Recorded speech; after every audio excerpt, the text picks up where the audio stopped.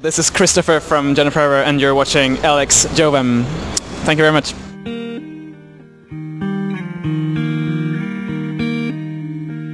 What's it like uh, for you guys being in Portugal? Um, it's nice. It's our first time here ever, so we haven't seen much, but it seems like a nice place. Guys were formed like in '96, right?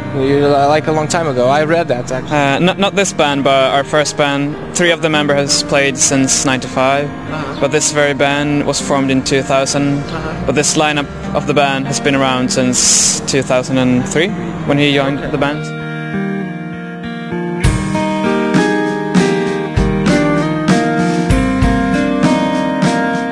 You guys uh, consider yourselves, you know, uh, to write very often or not so often?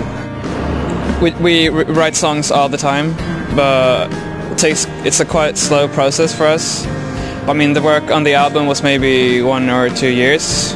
Yeah, no, it was one year of, of for ten songs. So the album and, and the first the, the B side on the first single.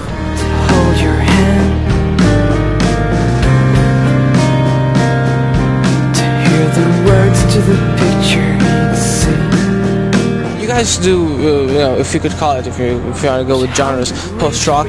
Do you think the, the, the Swedish landscape inspires you to play post rock music or something? There are more like uh, that kind of landscapes in this area of yeah. Europe. Uh, I mean, compared to where we're from, uh, the, the part of Sweden we're from is very very flat, and it's not. I mean, we live in a city, so we don't live in, in the in the forest or in the mountains. I mean, it's, it, it is. I mean, it's a nice landscape, but I think, I mean, to us, it's nicer to be in Portugal. probably, probably, other things more than the landscapes. Yeah, yeah.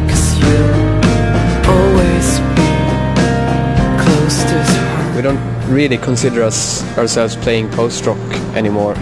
Of course, it's a good way sometimes to to get people to understand what sort of what kind of music it is, but I don't think we. I mean, I don't think we sound like too many of the other bands that are called post rock. I mean, some of them maybe, but uh, most of them are doing instrumental stuff and. Of course, like not, not to pigeonhole you or anything. You know, you're free to do everything. Landscape thing is probably what people want us to to to, to like have as a source of inspiration or whatever. But I, I mean, it's it's about. It'd be too easy. Yeah, I mean, yeah. people want want bands to be in a genre, and uh, like if you play this kind of music, you know, with like soundscapes and a lot of sounds, and you know, a bit that kind of music, people want you to have that kind of like other things around it. But I mean, we're maybe I mean I don't know. Maybe some people really that the strong feeling of it being really kind of landscapey and all that. I mean, depending on what kind of music you listen to, I don't know. But I, I would say it's more kind kind of cinematic, even though that's that's a cliche too. But I think it's, but I think that that's at least that I can agree on a bit more